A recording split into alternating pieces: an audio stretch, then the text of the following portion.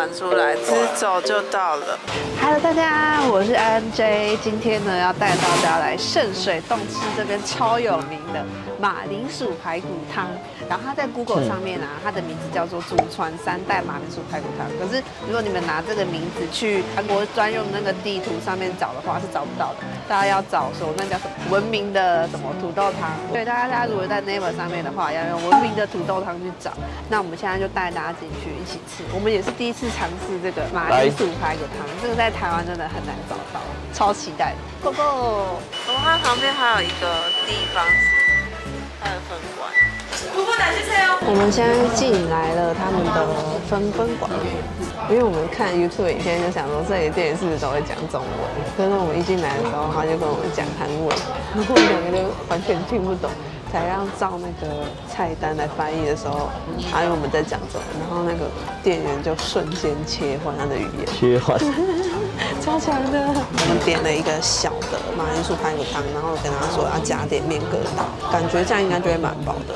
而且我现在一进来就是闻到那个韩式辣酱味道，因为隔壁桌已经在吃，就还有闻到，应该是泡菜的味道。泡菜对对有对对，很香，好期待。我们刚刚用那个啪啪够翻译，它翻译成愁眉苦脸，什么意思？脊骨土豆汤。所以汤的话，它本来就只有汤，加点那个面疙瘩或者是炒饭。刚刚已经给我们这个韩记，哦，这个是应该是丢骨头这丢。骨头的，可以加热，我以为这只是一个店。这是怎么操作的啊、我们可以先吃排骨，因为排骨是熟的啦。旁边教你怎么吃。等一下他教我怎么吃，他帮你他把这个菜先推下去煮，今天这马铃薯感觉好好吃哦，先偷吃。好，先吃一个。其实我觉得小的就蛮大一个。泡菜跟闻闻起来就是好辣酱味道，辣酱味，自己很常在家里煮。马铃薯，马铃薯感觉炖的超软嫩的。哎，它马铃薯很绵呢，吃起来口感跟台湾的马铃薯感觉不太一样，有点入口即化的感觉。再炖久一点会更好吃，不要太急着拿起来。包吃子，吃看它的泡菜，哇！最期待的就是来韩国吃泡菜。它的泡菜不会太咸太辣，我觉得蛮符合一般人可以接受的嗯。然后它还有给我们这一种哦白菜泡菜，对吧？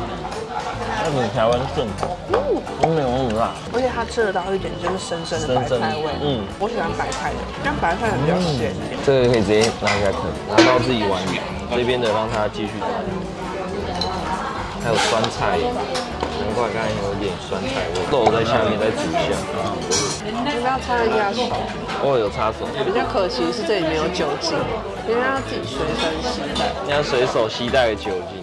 啃起来了。哇，一丝一丝，不太用咬，肉直接化掉，好强哦！你看它炖的很嫩，哦，它一整块好多肉哦。那个肉还算多了，很好啃，不会说怕你啃不了，它的肉真的炖到很烂，可是你还是吃得到那个肉，就是肉的感，直接咬下去就化掉，因为还有软骨，还有软骨哦，嗯，补充胶质，好好吃哦。接下来才有力气走路。大家都是直接拿起来啃。它很肉，就是那种我们在炖汤的时候会用的那个猪排骨肉，但是它就是因为它的那个肉很多，所以啃起来还蛮爽。可以。然后它这边有这个酱可以沾排骨。哦，我觉得蘸这酱更对味。嗯，酱，瓦萨米啊，可是它又有点酸酸的，然这后豆瓣酱啊，瓦萨米，它有加辣椒，然后点醋那些。甜。甜的醋，我觉得蘸酱才有它的特色，因为一般刚刚直接吃的时候，我就觉得哦，就是猪排骨，沾上去完全不一样的感觉，蘸酱超爽的，这个味道很特别，这个酱的味道在台湾吃？不到。我不知道什么叶子，是不是芝麻油？有一有，刚刚上面有一个是紫好香还是紫苏叶，因为是吃到紫苏叶用煮的，一般我都是吃到生的，直接包肉。我觉得我觉得紫苏叶煮它这个汤很好吃，会很香。因为在台湾其实紫苏叶蛮贵，所以要把它拿来煮菜，或者是有点奢侈。蘸酱，我觉得这个酱是神哎，这个最道地的吃法就是要用什么清凉辣椒，然后沾它的豆瓣酱。哦，好像这样是青椒的感觉。其实虽然它叫清凉辣椒，但是它不会辣。不会辣吗？有一些店的会辣，但是这间不会。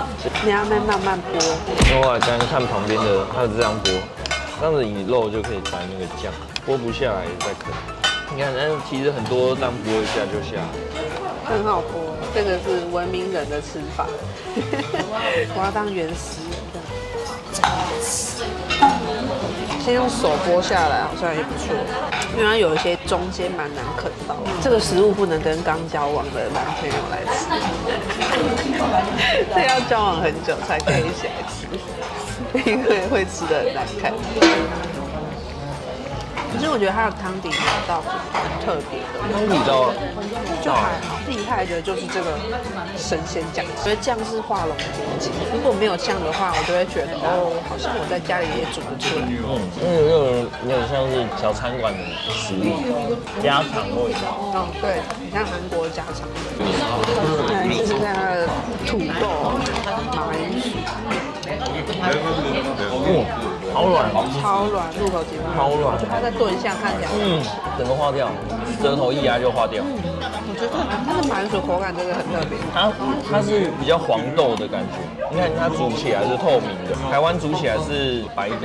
台湾的马铃薯吃起来会有点刷刷那个刷绵绵的感觉，对它这边是很水润。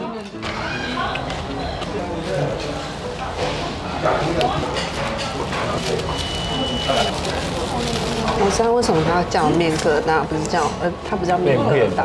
对，因为它很扁，它其实就是真的就是面片，它把它压得很扁，然后一一片一片小小的剥下来，感觉量其实没有很多。很有嚼劲。我们的面片汤煮好了，大概三分钟就可以吃了。嗯就是因为它切的薄薄的，所以非常的快熟。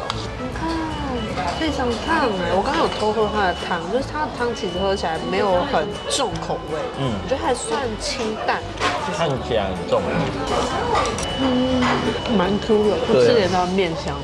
比较格来讲，它的口感有点像刀削面，但是它又比刀削面厚一点，然后更 Q 一点，但它又不像当面疙瘩那么厚，那么吃得到那个面粉的感觉，就是介于刀削面跟面疙瘩中间，我觉得很好吃，蛮特别。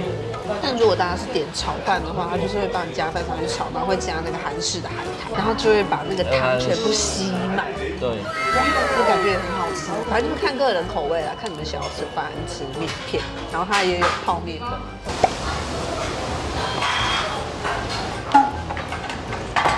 觉得都很可以来吃哎、因为这种料在台湾的韩式料理店比较少见，应该说几乎没有看过。这一餐吃了两万九韩元，我们刚刚吃完了那个圣水洞最有名的马铃薯排骨汤，你有什么感想？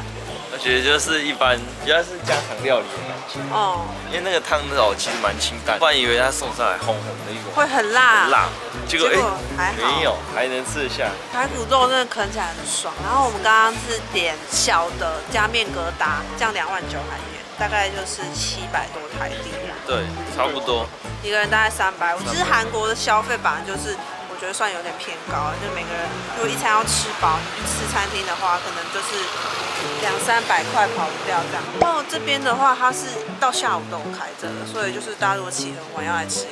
然后吃完就可以去圣水洞逛。那如果大家喜欢这支影片的话呢，帮我按赞、订阅、分享。然后接下来会有很多韩国的影片，就追踪我才不会漏掉。那我们下次影片见，拜。拜拜。